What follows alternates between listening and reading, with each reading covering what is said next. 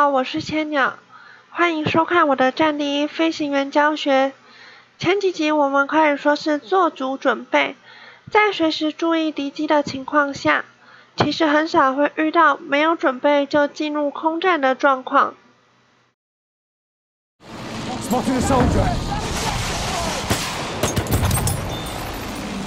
通常可以看到敌机远远朝自己飞过来，就可以回头交战了。所以大多数的情况下，我们会跟对方从面对面错身而过开始。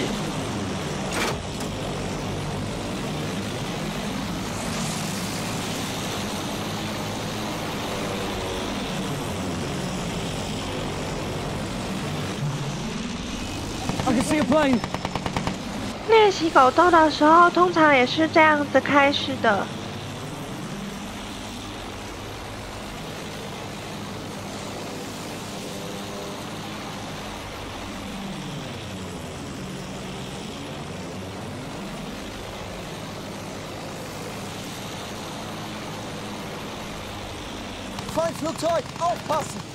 这样的情况有没有一个好用的对应方式呢？这一集就要来跟大家分享这一个技巧。这个技巧我查不到一个正式的名称，如果有人知道的话，可以在下面留言帮我补充哟。那我们从原理开始吧。不晓得大家还记不记得上一集我们比较过水平跟垂直绕圈的时间，不减速一样快，可以绕完一个圈。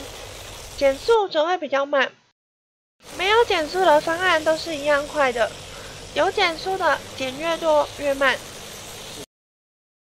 都不碰加减速，在三十 fps 下，水平绕圈约七秒二十格，垂直绕圈约八秒，两个相差三分之一秒左右的时间。这张是飞机在空中绕圈所画出来的轨迹。因为受到重力影响，会呈现一个蛋形。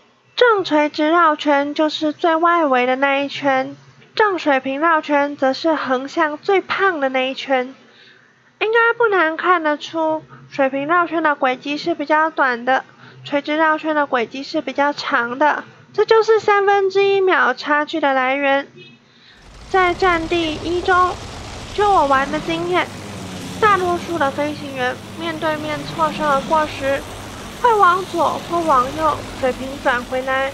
如果我们也是往左或往右水平转回来，下一次碰面会在一圈后的同一个地点，而且还是面对面。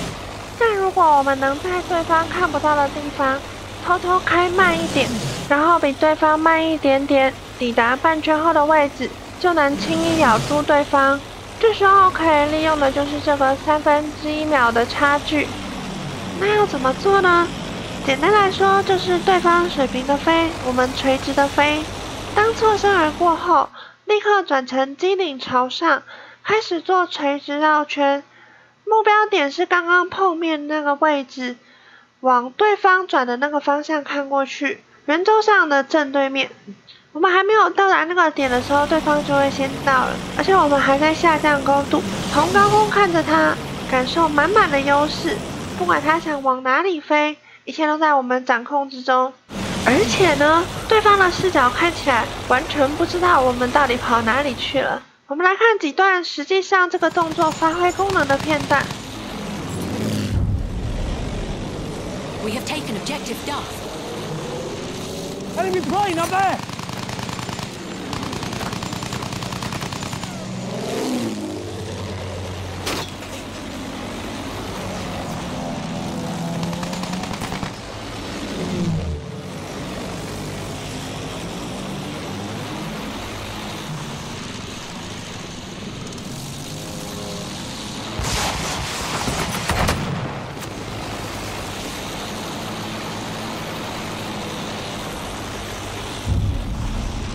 Zeigt Augen.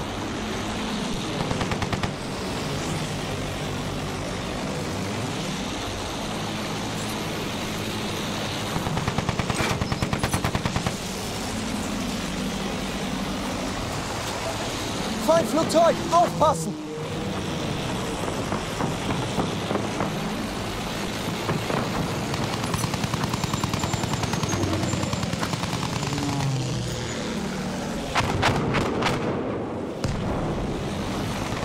较特别一点，不是错身而过，但是这个动作一样可以使用在这种情况下，朝对方半圈后的位置飞。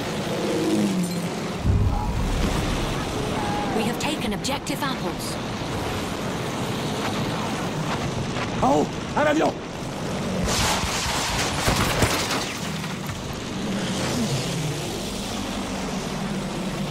但是第一次他并没有影响我的预期绕回来，第二次我们再碰面这一次.他就影响我的预期绕回来了。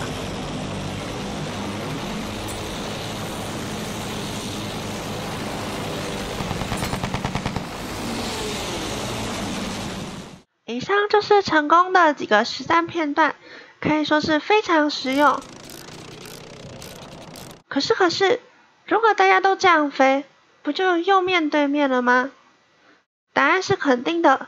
如果一样会用这招的对手，两机会在顶端再次碰面，这时候可以再做一遍，瞄准对方半圈后的位置，飞行轨迹转动九十度。如果对方经过顶点后直接顺着轨迹往下飞，我们可以在下降看到它的时候稍微减速来造出差异，增加飞行时间跟减少转弯半径来摇尾。如果不知道对方去哪，就不建议减速了。这部分要录到实战的影片就不容易了，因为大多数的情况下对手不会这样飞。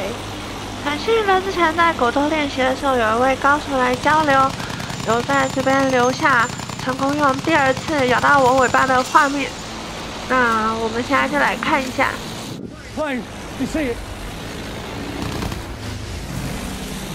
一次我们都做了这个动作，不过他做的比我还要圆弧了很多。第二次他在做，可是我却坚持的把前面正常的情况下会做的动作做完，我也没有改变路径，直的飞下来，所以轻轻松松的就被他抓到了。看这位高手的完整练习，有另外一个影片在频道里面。有兴趣的话，大家可以点击右上角那个白点去看看。那我在这边就不把它放完了。遇到这样的对手，我们要如何取得优势呢？这部分会在之后做说明。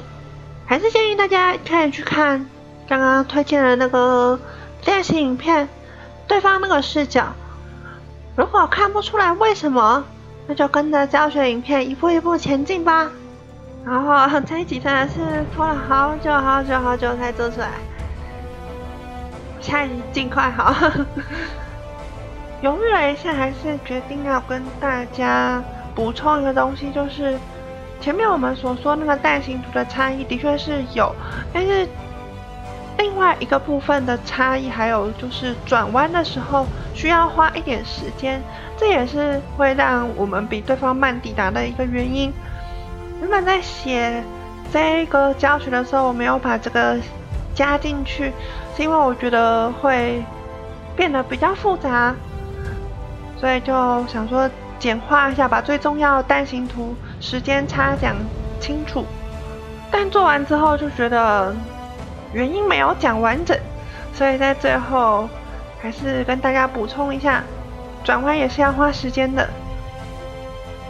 那。这期就到这边，如果喜欢的话，不要忘记帮忙按个喜欢，分享出去，订阅千鸟熊频道，获得最新的影片资讯。谢谢大家的收看，拜拜。